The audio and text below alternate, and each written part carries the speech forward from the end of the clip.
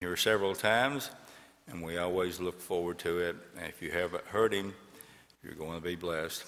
He'll bring us God's message. We'll listen attentively and uh, let God direct our hearts this morning. He'll be back tonight, Lord willing, Monday, Tuesday, Wednesday night. Don't miss a service. God has something for us. Dr. Bagwell, if you will come at this time, please.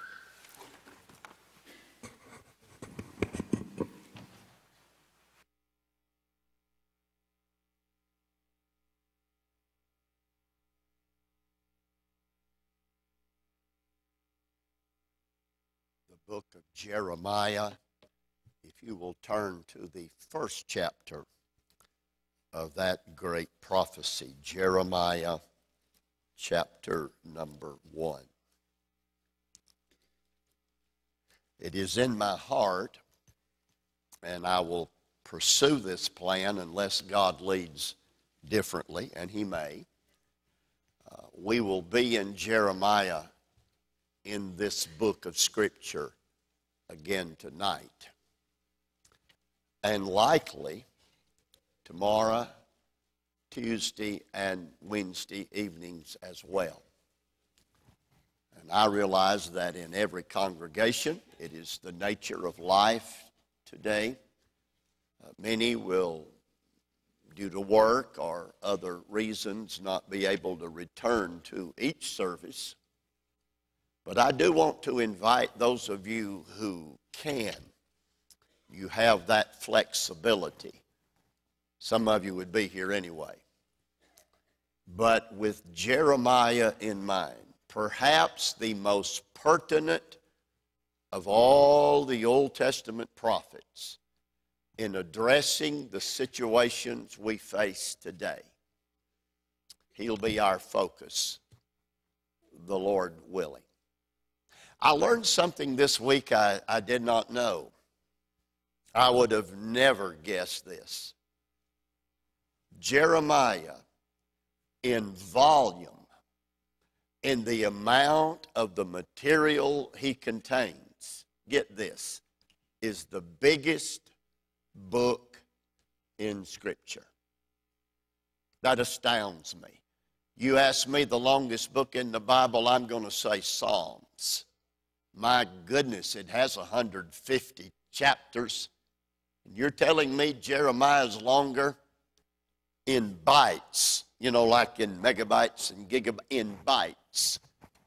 Jeremiah is the largest book of Scripture.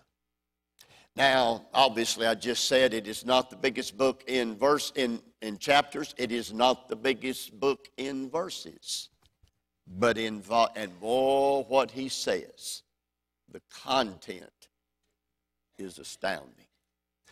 Before I read the text, maybe another thing or two about Jeremiah the preacher. He, he has what might be the longest ministry, longest ministry of any preacher in the Word of God.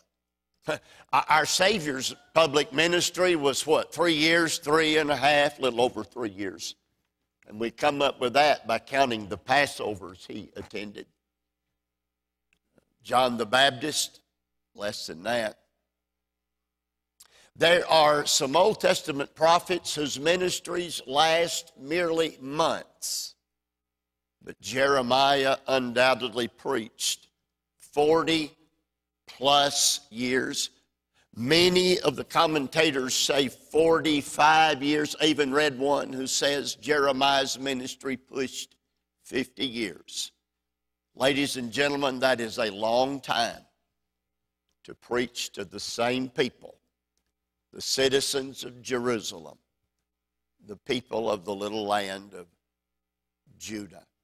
And get this, Brother Roy, it is absolutely amazing not one time in those 45 years is it written in the Bible. Not one time did anybody get saved under Jeremiah's ministry. There is not a record of a single convert in all 52 chapters that Jeremiah has written for us. I'm going to need an amen here. That's called faithfulness. That's called faithfulness.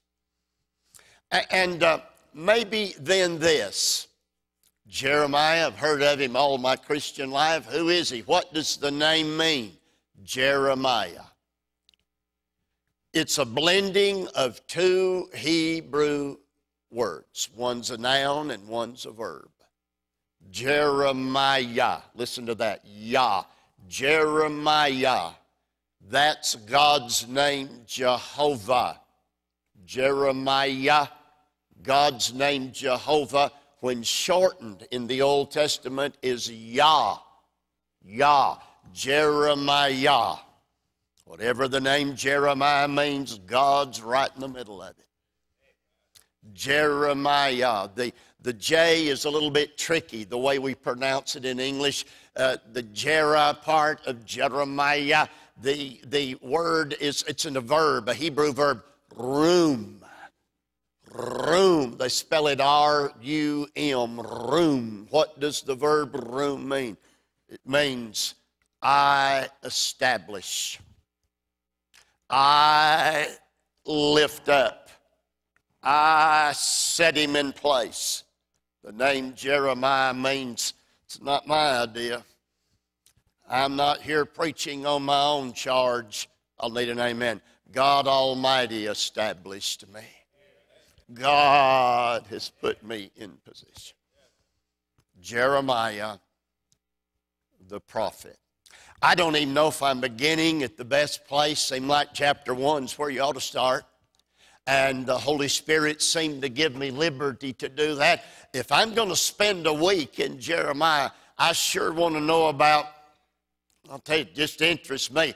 I want to know about his call to the ministry.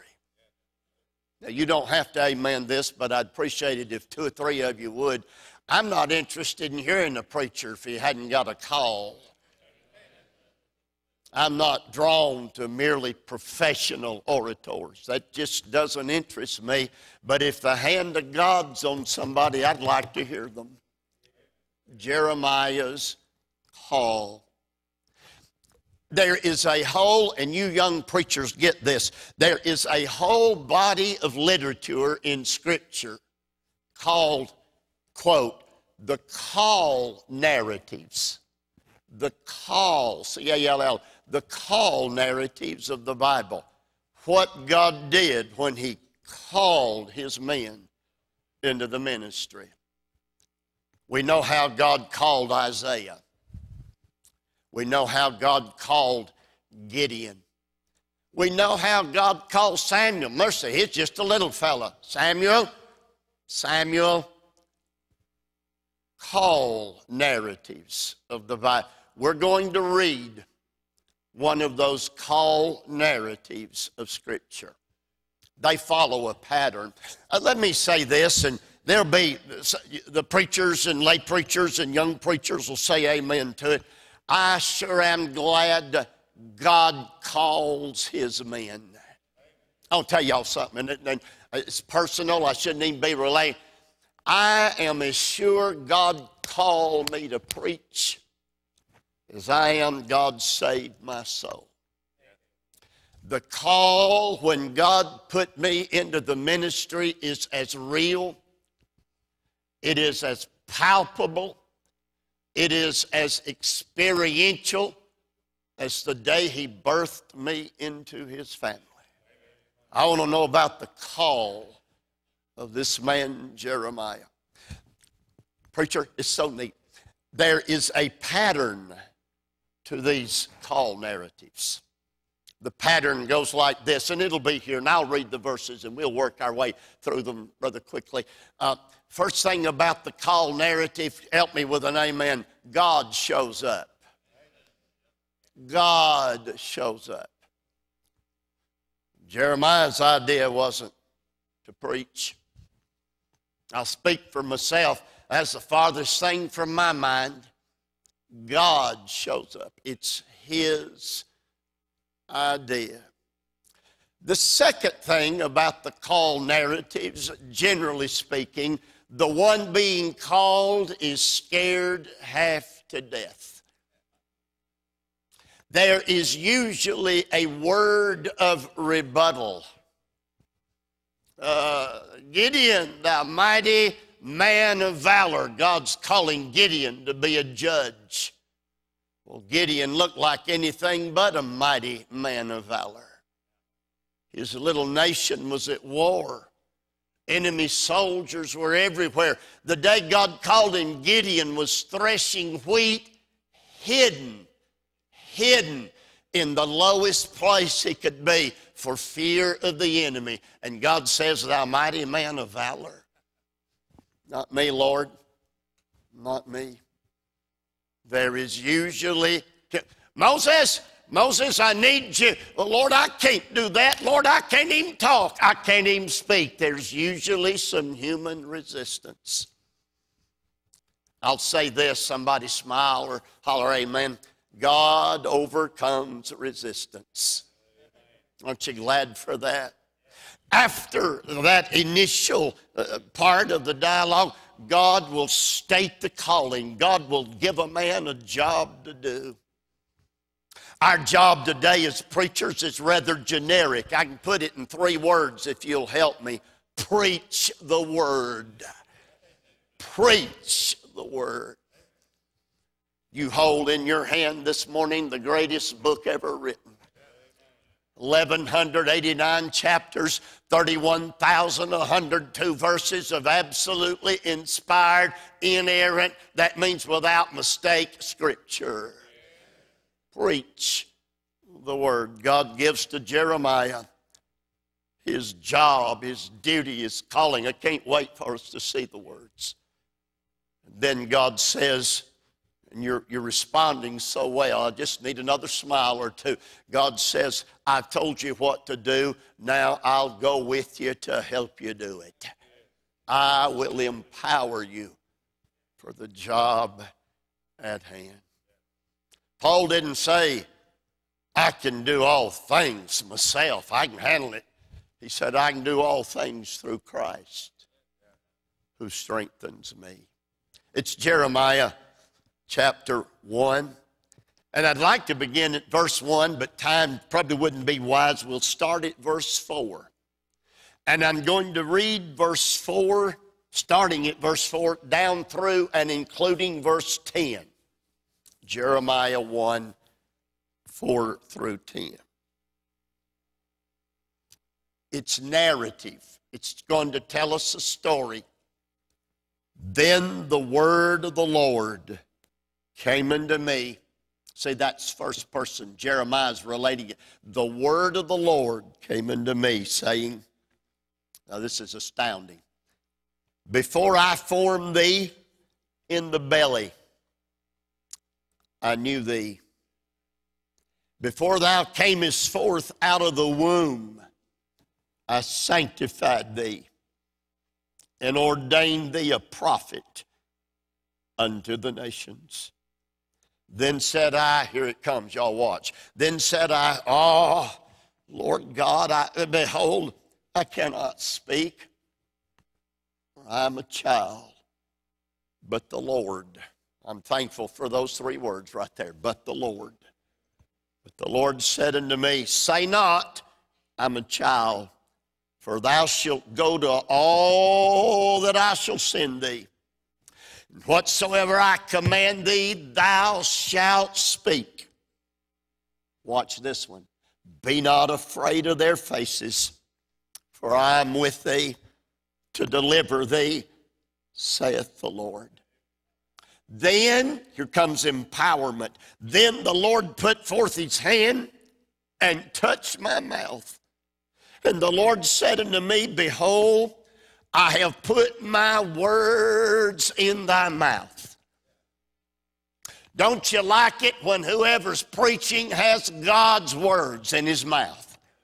Not philosophy, not psychology, not current events. Tell me what God says about a matter. Verse 10c, Jeremiah, I have this day set thee over the nations, and over the kingdoms. Watch this to root out, to pull down, to destroy, to throw down, to build, and to plant. Period. End of paragraph. End of text. End of Jeremiah's call, narrative, or experience. That's how God enlisted this great prophet to do his work. May I just say this and we'll start right here. I'm glad that same God is still on the throne. Tell you what I believe, don't know if you'll go here with me or not. I think God still calls preachers. I think God still puts his hand on young men, choice young men, his young men, and will use them till, he, till, till the rapture uh, to preach his glorious word in these last days. Where would we be apart from the word of God proclaimed? Well, verse number four. Oh, I love this. The word of the Lord came unto me, saying, The word of the Lord came into me, saying, Preacher, Brother Roy, last night, well, it was early this morning, I just used my laptop. How many times in Jeremiah did the word of the Lord come into him? I think it's more than any other prophet, though I could be wrong. I only checked Jeremiah 43 times in 52 chapters. The word of the Lord showed up in his life. Ladies and gentlemen, that is the dominating theme of the book of Jeremiah. Jeremiah was not born with the view of becoming a preacher. If I had read the first three verses, and you'll be glad I didn't before it's over, he's born in the city of Anathoth, suburban Jerusalem, two miles outside the capital city. His daddy is a priest, a priest, not a prophet, a priest. You know what that means? That means Jeremiah will be a priest also. The priesthood is passed from father to son, but God just interrupts the program. God says, This one will not be a priest, this one will be a preacher, this one will be a prophet of Almighty God. And the defining theme of Jeremiah's message, he's a quiet, Jeremiah is often called, you know this, the weeping prophet. He does not have a strong personality. I'll just go ahead and tell you this. The man Jeremiah, he gets discouraged rather easily.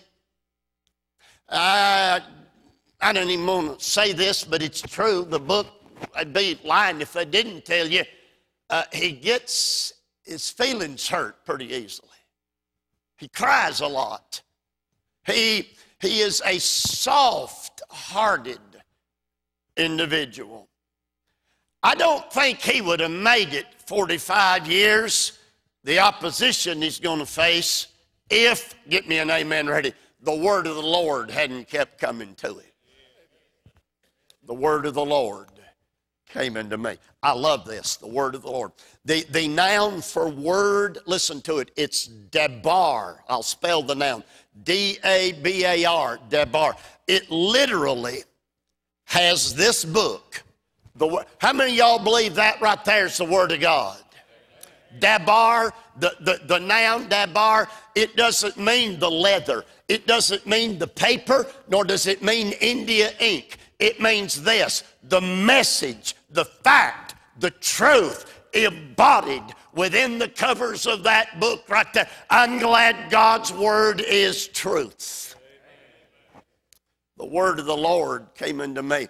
I guess, Brother Gary, this is called personification. In fact, there's some poetry in this call narrative. What does personification mean? That book to Jeremiah came alive the word of the Lord came unto me. The little verb there for came Hebrew, hava, H A V A H. It literally means it popped up, it came into existence.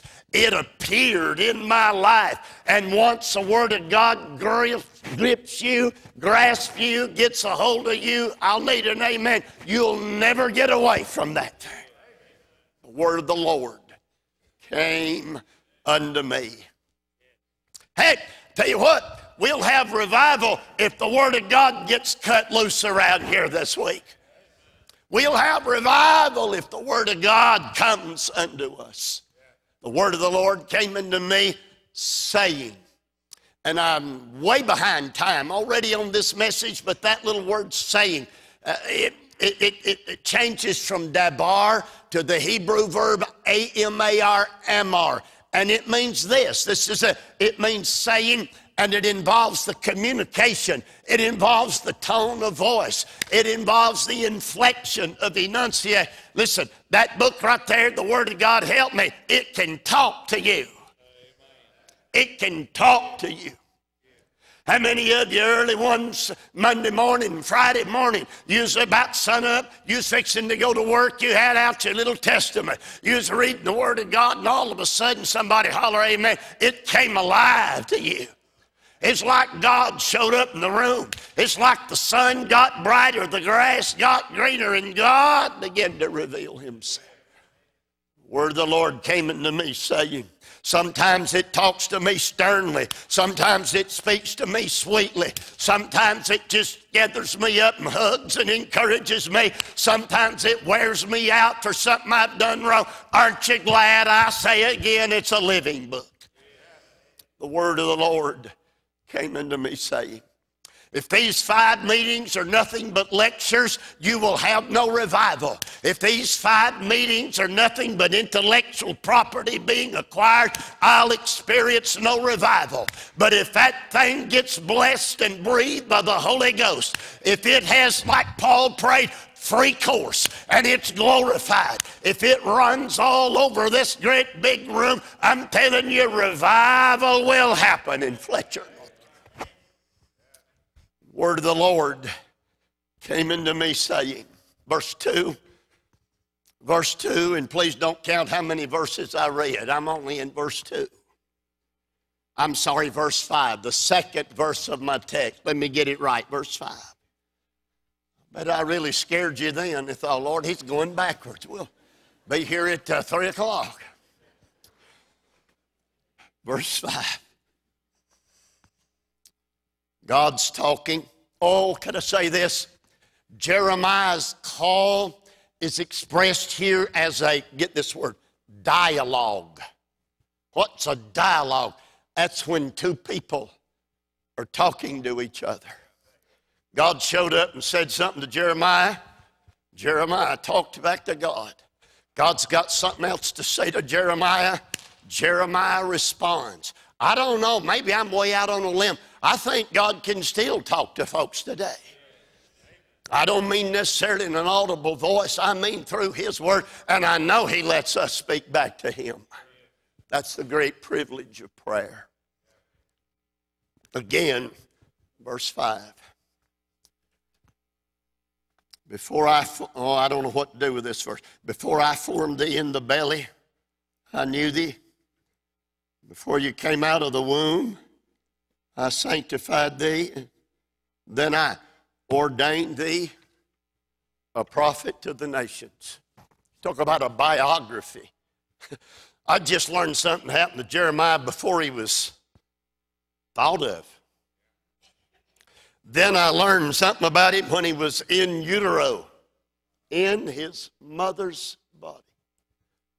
Then I learned something about him after he's born, saved, grown preaching the Word of God. Just for a minute or two, we ought to play with this. We ought to look at it. Uh, uh, what, what does it say, verse 5? Before I formed thee in the belly, I knew you. I knew you. The verb is yada, Y A D A. I knew all about you. I knew it. I think before Dan Bagwell, my daddy, and Sarah Bagwell, my mama, ever got married, I think God probably knew I was a coming along someday. Are y'all okay with that? You say you think God knows all that? Let me go on record. Pretty sure He knows everything. Yeah, but you're talking like he knows the end from the beginning. Let me go on. If I'm just talking like it, let me apologize. I want to declare it. He does know the end from the beginning. He's omniscient, we say, knows it all. Before you were even in the womb, I knew you.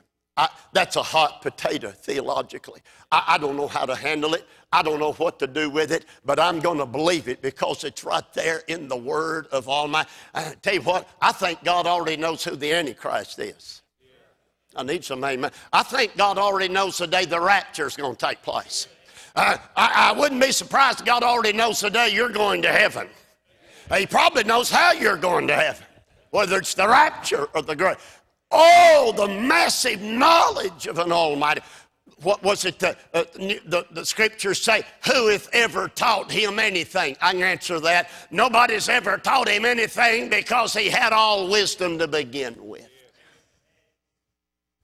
But then, when you were in the womb, I sanctified you. Did I get my verb right? I think I did, but I do want to check. I don't want to preach it wrongly. Oh, yeah before you came out of the womb, I sanctified you. I sure don't know what kind of doctrine I'm creating up here this morning. I'm just preaching the Word of God, Word. Sanctified you. What does that mean? Not sure all it means, but it happened before he was born. I sanctified you. The word is Kodesh, or it's a Hebrew, it's related to Kodesh. It's Kadesh, but it's the same word. What does it mean? To make holy. To make holy. That's not going to work as good. Sanctified, our English, our King James word here, it means God picked him up from here, one status, and set him down over here in a different place spiritually. This verse teaches God can do something for a little embryo, a little baby boy, or a little baby girl. I don't know if I'll get a single amen. I'm getting some weird looks before they even get here. Now, I'm not saying God can save an unborn soul. That's not what the scripture declares. I am not saying, no, no, no. But God knew He was going to use this young preacher boy and God's already put a hand of protection on him, help me, before he's ever born.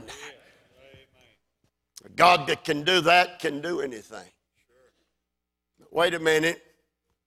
Before in the womb, and afterward, God said, I've got something to do with that word prophet. I've, I've ordained thee a prophet unto the nations. Now, this is tricky.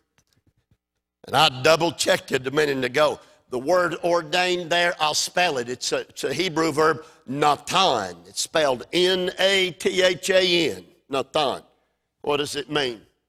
It is the classic, seldom does it mean anything else. It is the classic Hebrew verb, I gave you.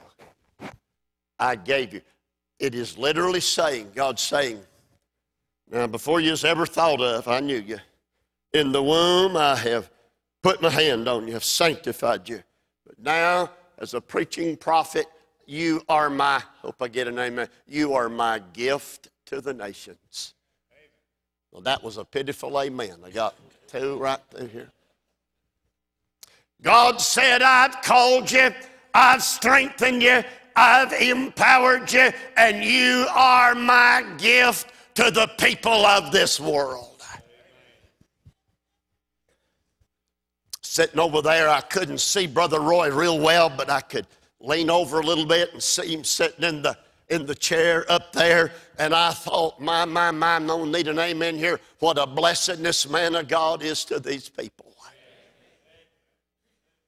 You could search far and wide. You would not find a man of God any more loving in heart, any more diligent in being a shepherd to a flock of people. What a blessing I'm doing. I'm doing what God did about Jeremiah. He is God's gift to Fletcher, North Carolina.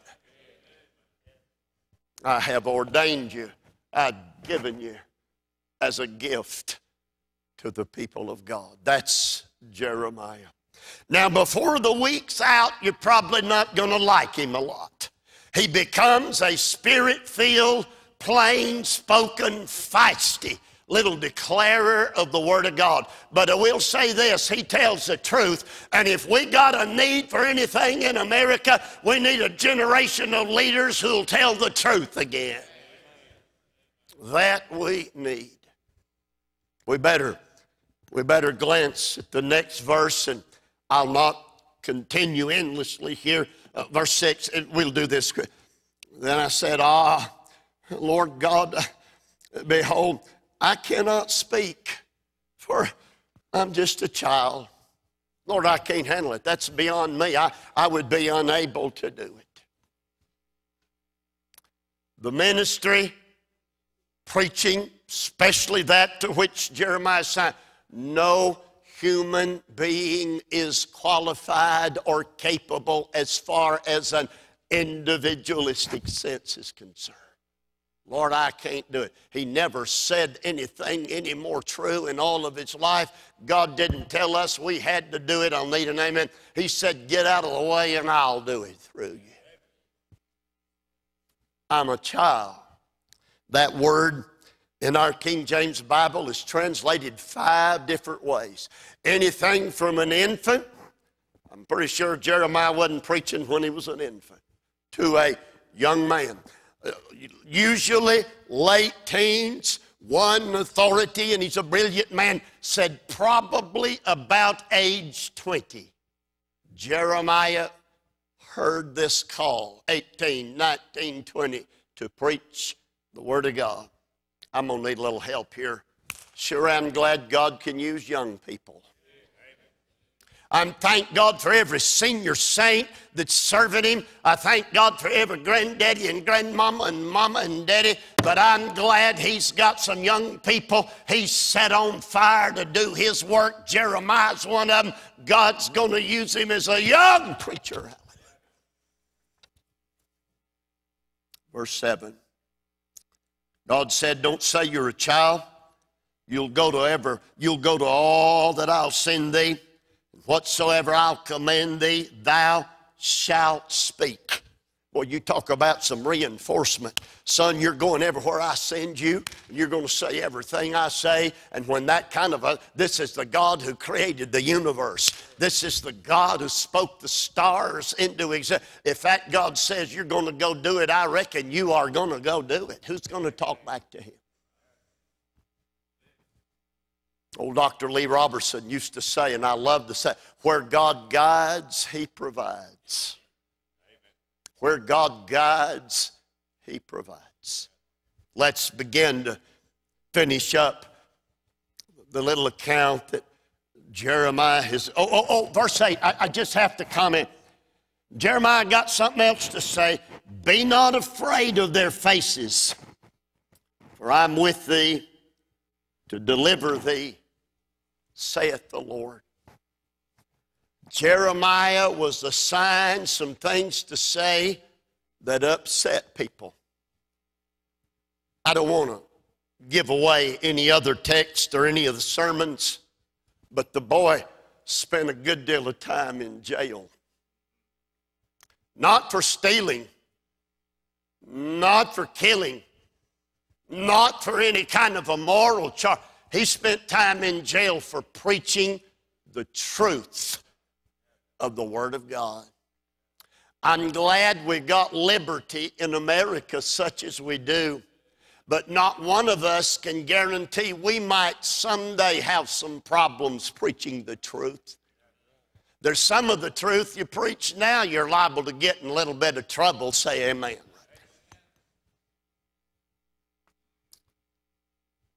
Don't be afraid of their faces. I don't have that problem today. I see smiling faces for the most part. Well, two of you are sound asleep, but other than that, I see smiling faces for the most part. Kindness, nodding of a head, an amen, lip synced to me, or, or loud when I ask for one. You've been so kind. But Jeremiah did not always have that privilege. They were angry at him. They'd gnash on him with teeth. They'd lie about him. They would curse him. They would threaten him. One time I was listening to this, I have a little thing called a Kindle, and it's reading me a commentary on Jeremiah driving over yesterday. And it, it gave the illustration, and it comes up. I doubt I'll get to preach it. They tried him one day, found him guilty of treason, sentenced him to be executed. He's on death row. Of course, God intervenes, takes care of all that. His man gets to live and preach it. Uh, don't be afraid of their faces. They're going to look at you real mean. Boy, it'd take a psychoanalyst to help you there. What do you do? You're already fearful in body, you know, in temperament. What do you do? Here's God's solution to fear. I will be with you. I will be with you. I don't even have to fear the valley of the shadow of death. You know why? He will be with me. Hallelujah. I'll be with you. Jeremiah. Well, verse number nine. I love this. Preacher, I went out to the car to get my little stopwatch. It's not in the car. I may own two or three tonight, I don't know, but uh, it's not in the car. Uh, I don't know where the little thing is. I try to keep up with my time, but I am hurrying. Verse number nine. Then the Lord, Jeremiah, then the Lord put forth his hand. Therefore, put forth, it's the same verb where God says, You're going to go where I send you, son. But I'll never send you, but I'll send my hand of power to be with you. The Lord put forth his hand. Watch, tell me that next verb. The Lord put forth his hand and did what? Well, I want all of you to say it. He did what? He touched. He touched my mouth. And the Lord said, I have put my words into your mouth. Jeremiah, you're timid, you're fearful. I can sense hesitancy. Would you just let me touch your mouth? Now you don't have to worry again about your vocabulary. You don't even have to go take public speech 101. God's words are in your mouth. I'm a country boy. Open up and let them fly. Preach God's words. Debbie asked me a minute ago, we were sitting over there, and she said, uh, How are you feeling? I must have been fidgety. This is a bigger place than we usually go, more people than we usually have the honor, and it is an honor to address considering the Word of God. I looked back at her and I said, Honey, I'm all right. Talking about preaching, I said, It wasn't my idea in the first place. Buddy, if my personality is in charge, we're going to the house. But God called me and God equipped me, and all I got to do today is move myself aside and let God's word flow forth. And I tell you what I believe I believe God's word will help God's people. What do y'all think? I'll put my words in your mouth. Nothing like the touch of God. I'll put my words. Put in. Let me be sure. I, I want to see. I want to see the way our King James words it. Oh yes, the Lord said, "I have put my words in thy mouth." Now I can't explain this. I wasn't there in 1611 with the years prior when they tra- have put is that little word we had a minute ago, natan. Translate it to give. God literally says, Jeremiah, don't worry. I have given you my words. I have given you my words. You are now possessed by my words. They have just moved in, taken over, and they will be the guiding force of your life. Here's how that would work. If you're a member of Fletcher First Baptist, you would go to Sunday school. You would sit dutifully and respectfully as the class took care of the preliminaries, the announcements, the prayer requests, however y'all may do it in your uh, individual class. But you'd be saying, when's he going to teach? When's she going to get that book? When's she going to open up some verses? When's he going to share with me the Word of God? You would be, you would be consumed. You'd be overcome. Get me two amens with the Word of Almighty God the good choir would sing and that was good singing and the good specials would be heard at 1045 and those were the wonderful specials. My what a thrill to our but you'd be eager for the man of god to mount the pulpit announce the text give you the scripture because you are possessed. It's a given. You are hungry for the word of god that's what got jeremiah through that's what brought hope to the people of Judah in the darkest time they ever had uh, faced, at least up to that point. I, I got to, God's still giving His word. God's still making folks hungry for it. God's still got it as an obsession if you're interested in it. I'm, give me an amen if it's just a courtesy amen. Anybody interested in the Word of God today? That's why a preacher has revivals. That's why we meet Sunday morning, Sunday night. That's why we try to be. Last verse, verse 10. I've set thee over the nations and kingdoms. I, will just comment on this. To root out, to pull down, to destroy, to throw down. What in the world's this all about? Four negative verbs. It almost sounds like he said, go out there and tear some things up, Jeremiah. There's some things that really need to be rooted up. There's some things need to be demolished. You go out there and do it, I'll appreciate it. Now, I don't know how to say this, but here's a feeble attempt. There's some things in America that need to be dismantled today. There's some things going on wholesale and they're not right. God's not pleased. And if we keep it up, we're going to reap the judgment of the Almighty one of these days. And don't you admire it when a man of God has the courage, has the stamina to stand in that pulpit and say what we're doing is wrong. The national current is leading us in the wrong direction. Let's stand up and be counted as believers in the Lord Jesus. Jeremiah, there's some things you're going to have to attack.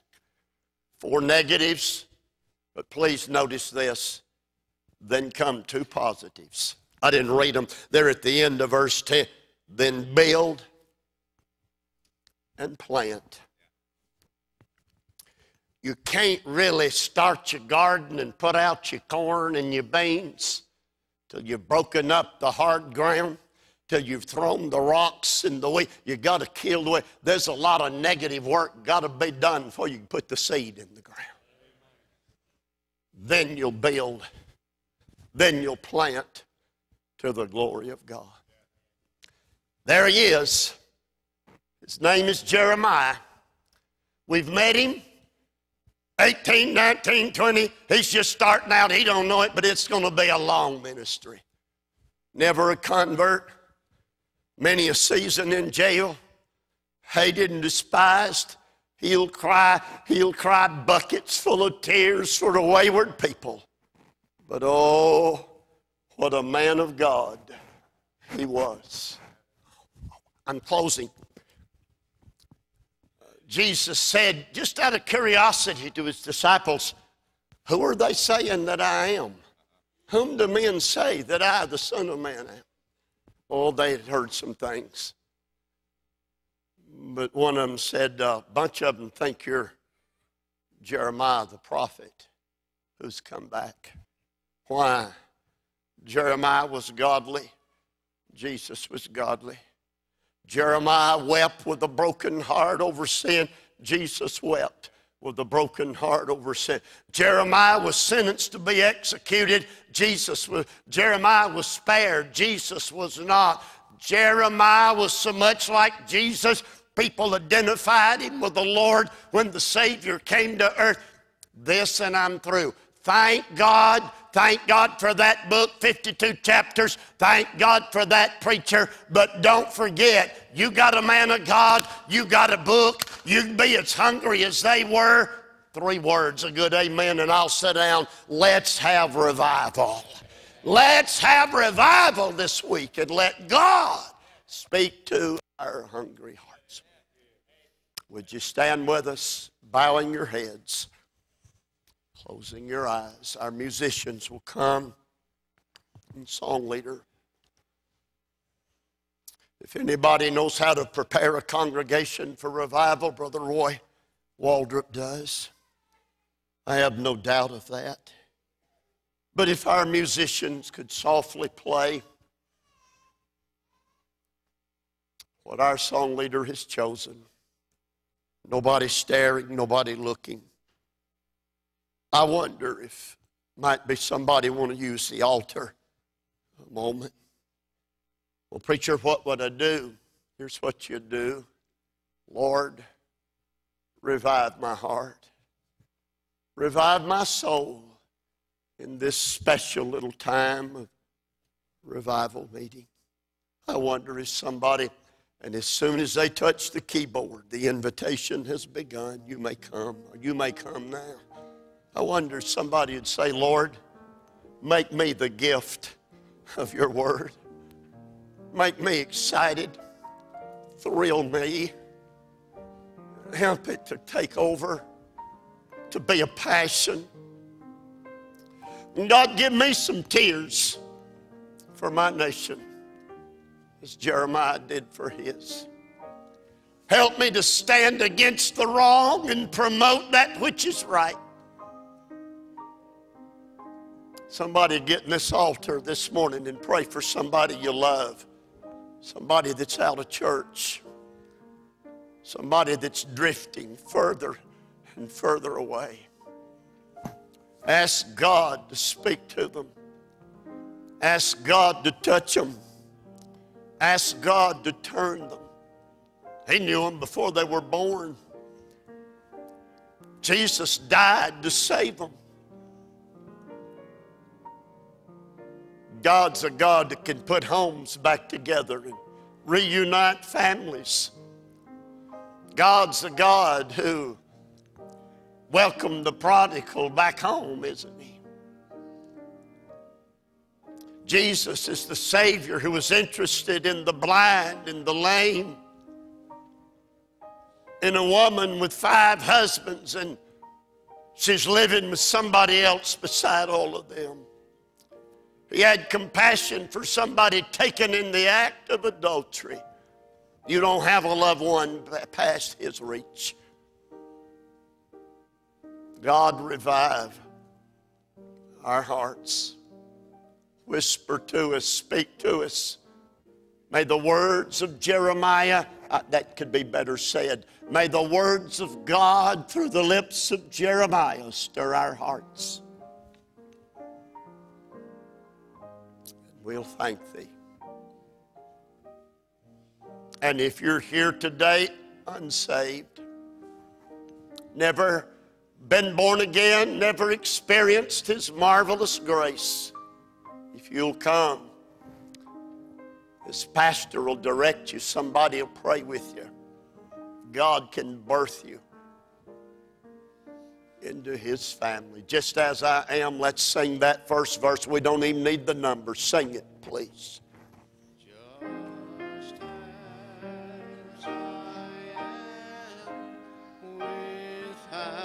Anybody else need to come?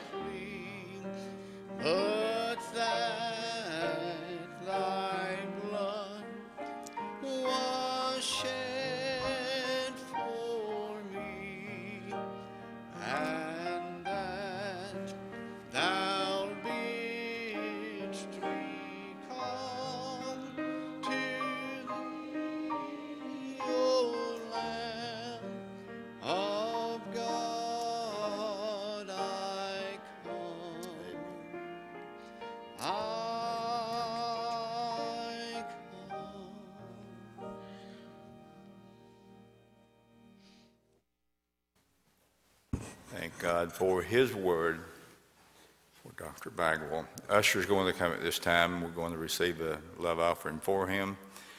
Give obediently, mind the Lord. Brother Bagwell goes anywhere that people ask him to go.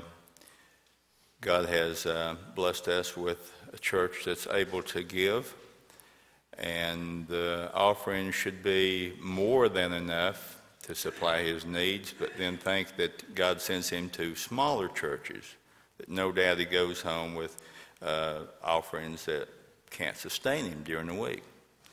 So God uses larger churches to sustain him in those other weeks. So as we're given to him, we're providing God's word to go out to various places, full-time evangelist. So let's give unto the Lord. Lord Jesus, thank you for your word. For men like Jeremiah, you gave us an example. You gave the example through him that an evil time, which he preached. We live in an evil time. Help us, Father, to preach your word, to stand boldly. Lord, we know we're going to give an account for every word, for every action, for every deed. Help us, Lord, in this time to make a difference. You trusted us, Father. You let us live in this time in America so we could live a life pleasing before you and let your word go out. It will accomplish that which you meant it to accomplish. We thank you for Brother Bagwell, for everyone that can give and will give. Lord, help us to come back tonight prepared to receive your word, prepared in their heart to have revival so we can be revived and teach men, women, boys, and girls about the goodness of God, the love of God, and show forth in this generation that you still live and you still save. We love you, Father. Thank you for all you're doing. In Jesus' name, amen.